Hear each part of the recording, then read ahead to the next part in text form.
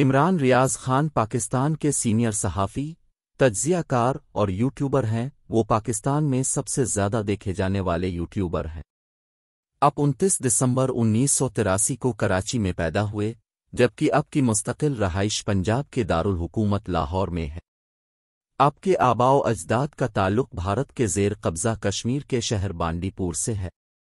अपने 2010 में पंजाब यूनिवर्सिटी से जर्नलिज्म में मास्टर्स किया, अब के मशागल में सहाफत के बाद सियाहत, शिकार और क्रिकेट शामिल है।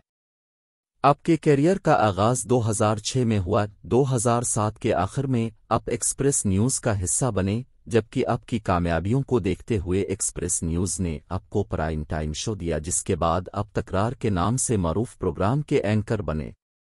अपने सत्रह साल सहाफती कैरियर में अपने एक्सप्रेस न्यूज़ में रात आठ बजे प्रोग्राम किया जबकि 2014 में छह माह के लिए दुनिया न्यूज़ के साथ वाबस्ता हुए, जहाँ रात दस बजे के प्रोग्राम सवाल के मेज़बान रहे। दुनिया न्यूज़ के बाद फिर एक्सप्रेस न्यूज़ में आए और तीन साल तक तकरार के एंकर के तौर पर काम किया।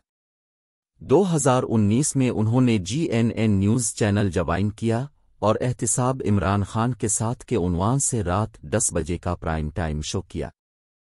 2021 के आखिर में समान न्यूज़ ज्वाइन किया और चंद माह रात 10 बजे के प्रोग्राम के मेज़बान रहे। समान न्यूज़ छोड़ने के बाद एक बार फिर 2022 में एक्सप्रेस न्यूज़ का हिस्सा बने, लेकिन सिर्फ़ दो हफ़्ते प्रोग्राम करने के बाद आपको ऑफ़ एयर कर दिया गया। बाद अजा अपने बोल न्यूज़ जवाइन किया है और मार्च 2023 तक बोल न्यूज़ का हिस्सा रहे। साल 2020 में अपने यूट्यूब के ज़रिए सियासी सूरत हाल पर वीलाग का सिलसिला शुरू किया। 2023 तक आपके यूट्यूब पर चार मिलियन सब्सक्राइबर्स हैं।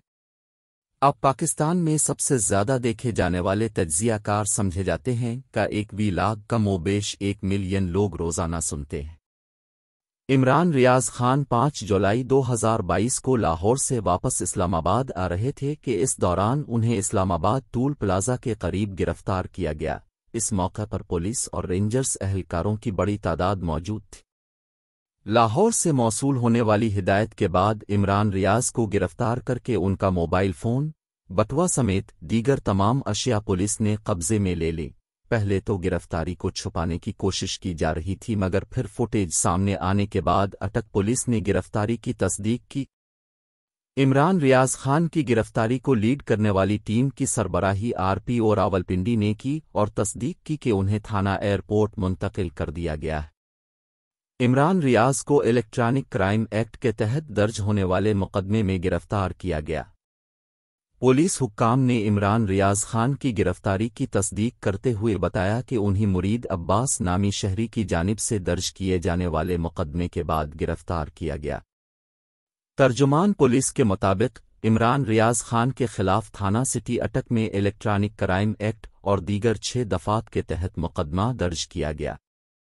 एफआईआर में शहरी ने मौक़ इख्तियार किया गया कि इसने सोशल मीडिया पर एक वीडियो देखी जिसमें इमरान रियाज खान ने पाक फौज की साख को नुकसान पहुँचाने की कोशिश की।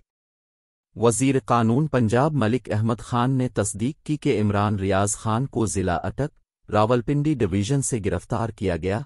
उनके खिलाफ पंजाब में मुकदमात दर्ज हैं, इसलिए उन्हें सूबे की हदूद से ही गिरफ़्तार किया गया। उन्होंने कहा कि यह तासुर गलत है कि इस्लामाबाद से गिरफ्तारी अमल में आई। वाज रहे कि सहाफ़ी इमरान रियाज ने गिरफ्तारी से बचने के लिए इस्लामाबाद हाई कोर्ट में दरख्वास्त दायर की थी, जिस पर अदालत ने मुतल हुक्काम को उन्हें गिरफ़्तार न करने की हिदायत की और सहाफ़ी को तहकीकात में ताउन करने की हिदायत की थी।